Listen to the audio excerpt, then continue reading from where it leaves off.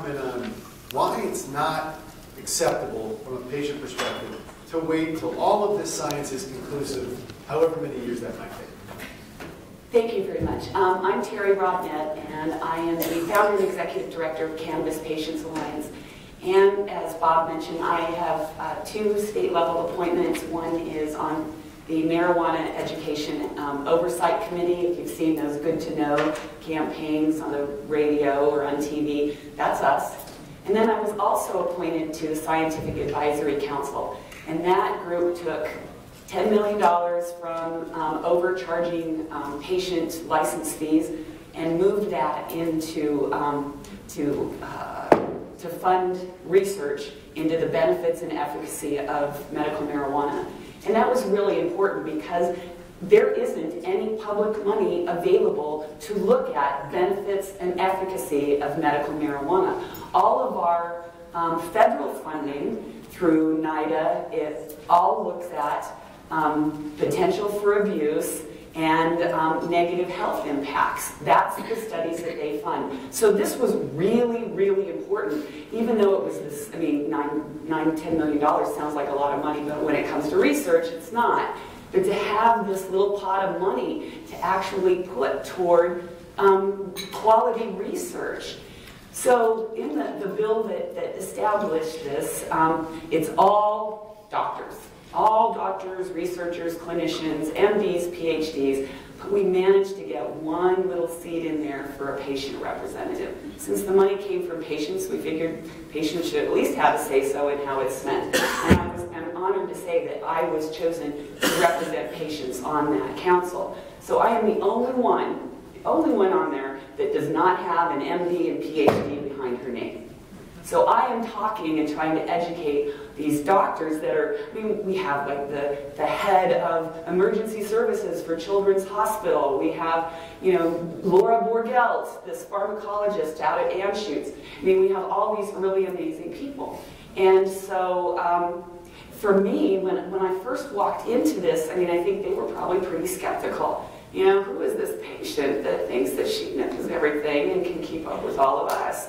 So I was really put on the spot to, to, to be able to hold my own with them. And it, it was incredibly stressful. When it came down to look, reviewing these, um, these um, applications for grant money, I mean, I stressed, my husband can tell you, I stressed for weeks because I had a very different position, a different job with this, which was that all of the, the um, applications were reviewed by three reviewers and they were scored.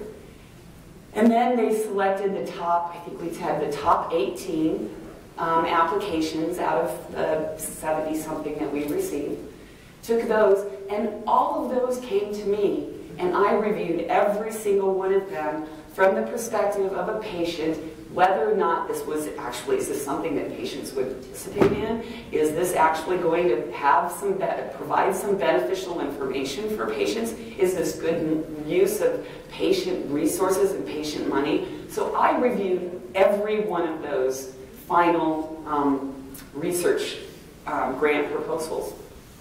And then we all got together and we talked about them and um, went through all of them, did our own scoring, and came up with nine in the final outcome, the final ones.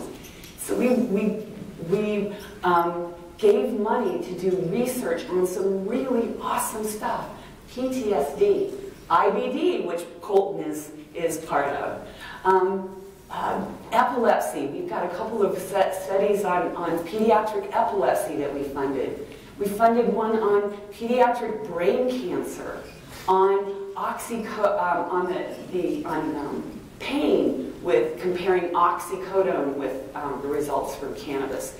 Um, Parkinson's. I mean, we, so this is awesome money because we've never been able to do this before, and I am so proud and honored to have been part of this process. It was a great education for me because I learned how to talk to doctors, to talk to them about what the real experience was and we developed this great relationship where they filled in the, the, gaps in my knowledge when it came to research and protocols and, and how these studies. Let me tell you, Looking at a study from the front end before it's ever done is completely different than looking at it from the back end after it's done and you're looking at results. Very different process, especially for me. So when it came down to um, needing to know what the real life, boots on the ground effect would be on patients for any of these studies, for any of this work, that was my job. And I'm really happy that we made, we really worked out a relationship where we all relied on each other and that I was treated not as the outsider, but as an equal, a peer, and someone that came to this and brought valuable information. In other words, the voice of patients was heard in this process, and that was so critically important. Now, give you quickly a little background for me is I have fibromyalgia. I was diagnosed with fibrositis 28 years ago. And since then was re-diagnosed and um, about 10 years later by a rheumatologist with fibromyalgia. I was lucky the first five years after the car accident that triggered my fibro, I worked with a team of alternative practitioners. So I didn't get as deeply into the trap of um, opiate painkillers that a lot of other friends of mine and fibro patients have gotten into. Because I did a lot of work with massage, with acupuncture, with chiropractic, with diet, with supplements, etc. So I had a really broad kind of regimen or routine um, for my therapy. But um, in 2000, in 2006, my stepfather was diagnosed with lung cancer, and I um, worked with my mother did hospice care for him for the final year and a half of his life. And I will tell you, it wasn't the lung cancer that killed him, it was the, the side effects of the pharmaceuticals that he was given. He was given some um, experimental um, chemotherapy drugs, and eventually he got where he couldn't eat. He had sores all over his body, in his mouth, down his throat, etc. And I didn't know then what I know now. I didn't know about cannabis then. And I went to every one of his doctor's appointments, every one of his therapists, every one of his you know, specialists, the home health nurse, everybody. And not once in that entire year and a half did anyone, this is when I'll start crying with you, not ever once in the entire time did anyone suggest that cannabis might help his treatment, that it might help with side effects, that it might even keep him alive. Not once. This was after Amendment 20. This was when we already had legal medical marijuana. A year and a half of doctor's. My father, my stepdad's dead. I never, ever want someone else to go through what I went through. If someone is free to choose that marijuana is not right for them, that's fine with me. But I want people to make that choice out of a place of knowledge and information and not because nobody said anything. So for me, people ask me where my passion comes from. It starts in that place because I want patients to at least have enough knowledge that they can make that decision. We have almost 108,000 registered medical marijuana patients here in Colorado. Last month, less than 300 doctors in the entire state wrote a recommendation for medical marijuana. Less than 300. We have over 20,000 20,000 licensed medical professionals in this state, and less than 300 of them wrote a recommendation for medical marijuana last month. We have a, a, close group of about a dozen or so doctors across the state that write recommendations for medical marijuana as part of their regular practice. That's it. Those are our specialists. And I challenge all of you, like you had said, like you said, to get information, to get educated, because patients need you. They need the knowledge and the information. Bob, and I were talking yesterday about there's a, a lot of people, when I talk to, to medical professionals, a lot of times they want to move marijuana into the pharmaceutical realm. Well, we just need to do the research. Just move it into Schedule 2. Let us do the research. find out what the doses are, chop it, chop marijuana up, pick out the different cannabinoids, see if, if we could just do CBD by itself, if we could just get CBD alone to work, that would be awesome because you can't get high off of that. So it's okay for kids. So we can do that. But let me tell you, I believe that pharma will struggle, will struggle with cannabis for a long, long time because of what Sanjay Gupta has called the entourage effect. This is a very, very complex plant. It has cannabinoids. I think recently I read they discovered the 138th cannabinoid in marijuana. 138 cannabinoids. And then there are terpenes and flavonoids and all these other chemicals that, that go in to make this an amazing plant. And the idea that you can slice it and dice it and make it work the same, I think, is flawed.